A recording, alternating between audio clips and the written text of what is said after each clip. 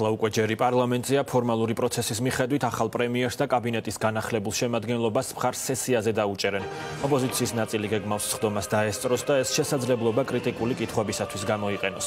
უშუალოდ ცულებებს ხელისუფლების ოპონენტები ივანიშვილის მოსამსახურეების გადალაგებას უწოდებენ. სოფო ვარდიაშვილი ოპოზიციონერთა შეფასებებით გვერდება პირდაპირ ეთერში.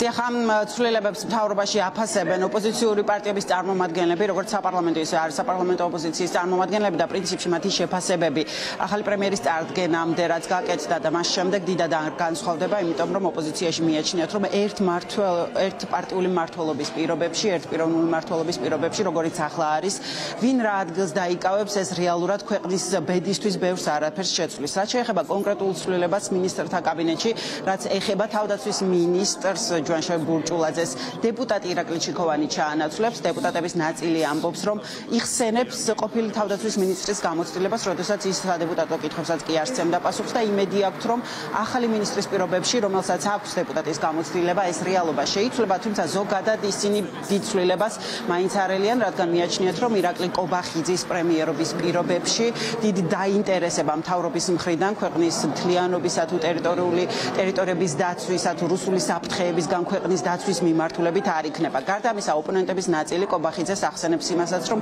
რეალურად ის იყო რუსული კანონის ავტორი, ამიტომ მათ მიაჩნიათ, რომ ამ მიმართულებითაც დასავლური ინტეგრაციის მიმართულებით უფრო სწორად ბევრი ნაბიჯი ახალი პრემიერის პირობებში არ გადაიდგმება და ის კვლავ შეეცდება მისი ხელმძღვანელობით მთავრობა რუსული ინტერესების გატარებას. ამ ხალხს ერთი ვოლიერიდან გამოიყვანს და მეორე ვოლიერი შეიყვანს, ამით არაფერი თვისობრივად არის. ხო გასაგებია, ყველასთვის გასაგებია. მათ შორის იმ ხალხის ვინც ბოდავდა მთელი ამ უკრაინასკის ხების გამოვაშები, თუმცა მივანიშვილი გაწევდა პოლიტიკიდან, რომ სიამოვნებაში ეგ კაცი მართავს ყველაფერს. ხო და ან მაგის დავარებები უნდა შეასრულონ და ხა ირაკლი ერთი აქეთ იქნება, მეორე იქნება, ირაკლი იქით იქნება, თუ ამას გადაანაცვლოს, თუ რას გააკეთებს, ეგ ხო რეალურად ხალხს არ ცოს. პრობლემა არის იმაში, რომ არის ერთი კაცის ერთპიროვნული ერთპარტიული მართლობა და ეს ქმნის უამრავ პრობლემას ქვეყნისთვის. მათ შორის ეკონომიკური თვალსაზრისით და პლუს ეს არის მთავარი ბარიერი ამ ქვეყნის ევროატლანტიკური ინტეგრაციის გზაზე. ნამდვილად არ მსურს დავკავდე ბიზნა ივანიშვილის რაღაცა ფსიქოანალიზით. მისი მთავარი განმანცხოვებელი დემოკრატიული წყობისგან არის ის, რომ იგი თავისი პიროვნული ინტერესების ჭრილში უყურებს ყველაფერს და მათ შორის სამთავრობო ცვლილებებს, ვისაც უნდა დანიშნოს, ვისაც უნდა მოხსნის.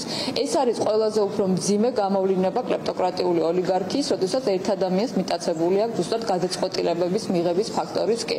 ამიტომ შესაბამისად მე ვერ გეტყვით რა იყო განმაპირობებელი, აქ მთავარია მთავარია რომ იგი ნიშნავს, იგი წარადგენს და მისით ხდება ნებისმიერი პოლიტიკური პარადიგმის ცვლილება ამ ქვეყანაში. ნაციონალურ მოძრაობა რა თქმა უნდა იქნება ამ დღეს პარლამენტში, ჩვენ გამოვიყენებთ ჩვენ ტრიბუნას იმისთვის, რომ ხალხს კიდევ ერთხელ დავანახოთ და გავაშიშვლოთ ქართული ოცნება, რომ აქ ბიზნეს ივანიშვილის პირობებში არ აქვს მნიშვნელობა ვინ იქნება პრემიერ-მინისტრი ან მინისტრი და კითხვებს დავსვამთ თუ აპირებენ იმ პრობლემების მოგვარებას რაც აწუხებს ჩვენს თანამოქალაქეებს თავდაცვის პოლიტიკაში რომ თავდაცვის მინისტრ თავისი პოლიტიკური წონა ქართული სნების პირობებში ქონოდა ცალსახად ბევრად უკეთესი იქნება ბატონი ირაკლი ჩიქოვანი თავდაცვის მინისტრად ვიდრე ეს იყო მისი წინამორბედი და რატომ რომ მას აქვს გარკვეული გამოცდილება ისევ რომ ცოდნა ამ სფეროსი და ფიქრობ რომ მისთვის შორეული არ არის